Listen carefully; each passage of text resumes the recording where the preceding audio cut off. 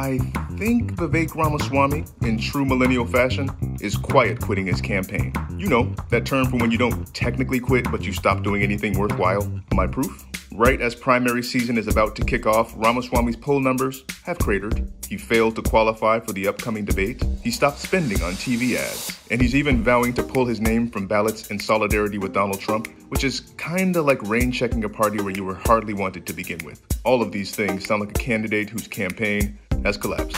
And I think Ramaswamy either doesn't know this or doesn't want to show it.